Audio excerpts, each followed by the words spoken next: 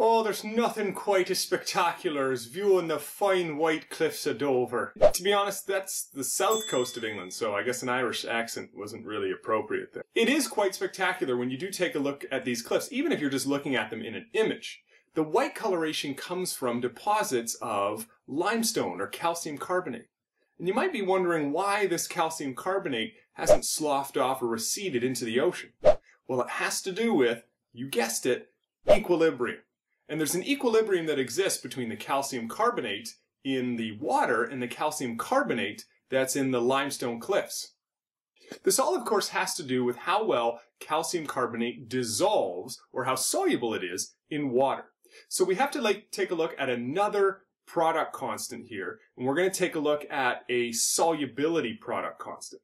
So we're going to be taking a look at the extent to which a solid dissolves. Just as the other equilibrium constants gave us information as to to what extent towards the reactants and products we're, we're looking, this is going to give us an extent to which something dissolves. And an important note here is we're only going to be taking a look at the KSP, as we call it, for the solubility product constant for sparingly soluble or salts that have a low solubility.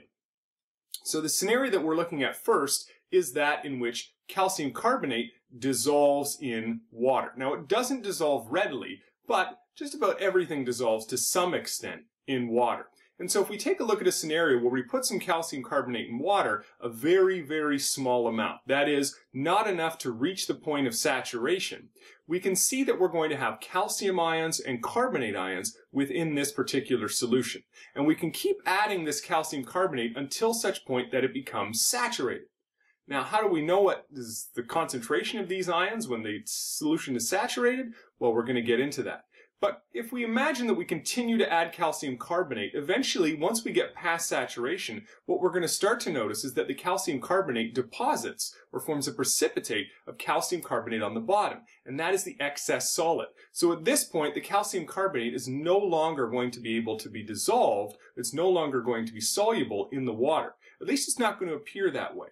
What's actually happening is once we start to see a precipitate form, there is an equilibrium that's established between the solid and the ions that are saturated in this solution. And this is where our equilibrium constant comes in because now we have a scenario where we have something at equilibrium. So it's important to note that when we deal with the solubility product constant or KSP, there has to be a solid present. And we derive this product constant the same way that we derive other constants like the equilibrium constant by taking the concentration of the products over the concentration of the reactants. However, in all cases here, for our solubility product constant, we're going to be looking at reactants that are solids. So, effectively, their concentrations are fixed, or we can say they're factored into the equilibrium constant, so we don't include them in our expression. Really, we're just including the concentrations of the ions that are formed when this particular solid dissociates. So in this case, our KSP is going to be equal to the concentration of the ions involved, that is the calcium ions, and the carbonate ions. And it's worth noting that for this particular scenario where calcium carbonate dissociates in water, it has a really low KSP. That is 3.36 times 10 to the negative 9. And if you've ever taken a look at calcium carbonate or putting chalk or lime into water, you will know that it does not readily dissolve. So this helps us explain why those white cliffs of Dover have remained white and cliffs for as long as they have, because they don't readily dissolve in water. Well, up until this point, we've talked about situations where we're just dissolving a solute or a substance into pure water. But what happens in those scenarios if there's already an ion present in that particular solution? That is, there's a common ion present between the solute that we're adding and the substance that's already dissolved or dissociated in the water. Well, let's take a look at a scenario like that. Let's say we were going to add table salt, sodium chloride, to two samples of water. One of the water uh, samples is pure water. The other sample is seawater. Which one do you think we could add more salt to before a precipitate would form? Well, if you said the water, the pure water, you're absolutely correct because the seawater already contains sodium ions, already contains chloride ions. So it's closer to its point of saturation. And so what we refer to in terms of comparing these two solutions are the relative molar solubilities of these solutions. And when we talk about molar solubility, what we're talking about is the amount of solute that it can be dissolved in order to reach saturation.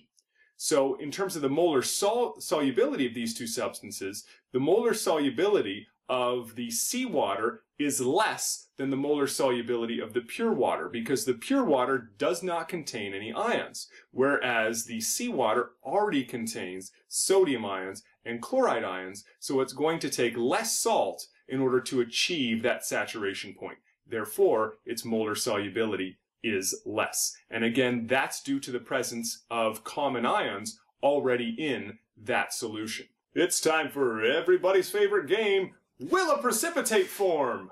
That's right, and in order to figure out whether or not a precipitate will form, we have to compare the KSP to the QSP. Very similar to what we did with the equilibrium constant and the reaction quotient, here we have the solubility product constant and the solubility product quotient, or the KSP in comparison to the QSP, in order to figure out whether or not a precipitate will form. Now the key here is, and no pun intended, the key here is that we need to determine what the possible precipitate is going to be. So in order to do that, we need to come up with a net ionic equation in order to figure out what solid could possibly be uh, formed. Because we're not going to worry about anything that's aqueous here. We need to figure out what the solid is going to be, what our precipitate's going to be. And so we have to use our old friend here. We have to use our old friend here, the uh, solubility chart in order to figure out which one of our substances is going to be and going to form the solid precipitate. And then what we do is we are going to take the KSP, and the KSP traditionally will be given to us, and compare it to the QSP. So we're going to have to establish what the concentrations of the ions are at this particular time or at the particular moment in time that you have the data for. And then what you do is compare your QSP that you've calculated for the current time or the current set of data that you have, and you compare it to the KSP. If we find that we have a QSP that is less than the KSP, we are unsaturated. That is, there is no precipitate formed. So if we're dealing with a scenario where the KSP is greater than the QSP or the QSP is less than the KSP, we have a value where the QSP has to increase, so the concentrations of the ions have to go up, which means in order for the concentration of those ions to go up and for the QSP value to go up, there has to be more of that solid dissolved. So we say that at this point there's no precipitate formed and we can, can add more of the solute or more of the solid to the solution. At the point where the QSP is equal to the KSP, the concentration of the ions is such that we have reached a point of complete saturation. Now, this is sort of a theoretical scenario in which we have, at the instant that the solid is being formed, it's also dissociating back into ions. So at the instant that we have this solid being formed, because we've reached this point of saturation, that solid instantly turns back into those ions. There is still no precipitate at the point of complete saturation. So when we've achieved equilibrium in terms of solubility, again, there is no precipitate.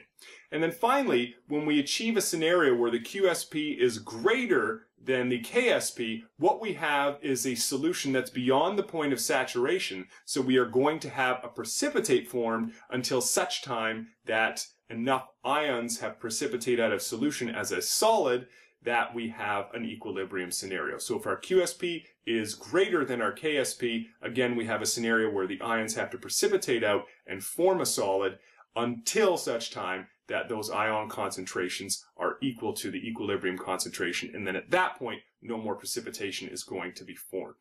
So, if you ever play a game of will a precipitate form, now you know how to win. And now you know why the White Cliffs of Dover aren't going to recede anytime soon. Thanks for watching.